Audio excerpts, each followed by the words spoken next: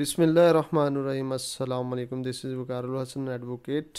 जी नाजरीन, आज हम कोर्ट मैरिज में एक के बयान के हवाले से बात करेंगे। यानी एक के बयान या एक की स्टेटमेंट की क्या अहमियत होती है? और ये क्यों करवाए जाते हैं और ये कब करवाई जाते हैं? सेक्शन एक C R P C criminal procedure code की स्टेटमेंट में एनी मजिस्ट्रेट का वर्ड इस्तेमाल हुआ है, जिसका मतलब ये होता है कि ज़रूरी नहीं है कि ये इलाका मजिस्ट्रेट ही रिकॉर्ड करे। ये कोई भी मजिस्ट्रेट रिकॉर्ड कर सकता है। कहने का मतलब मतलब ये है कि ये एक शहर से दूसरे शहर भी हो सकते हैं। ना जी, अक्सर लोग सोचते हैं कि ये कोर्ट मैरिज के फ़ौरन बाद हो जाने चाहिए, लेकिन जो कोर्ट मैरिज के बाद बयान होते हैं, वो हरेसमेंट के बयान होते हैं। और अगर आपने एक की स्टेटमेंट करवानी है तो फिर आपको वेट करना पड़ेगा। उस वक्त तक जब तक एफआईआर नहीं हो जाती। क्योंकि एफआईआर की कॉपी साल लगा कर ही आप एक की स्टेटमेंट करवा सकते हैं। और जिसकी बिना पर एफआईआर भी खारिज हो सकती है। नाजरीन, एक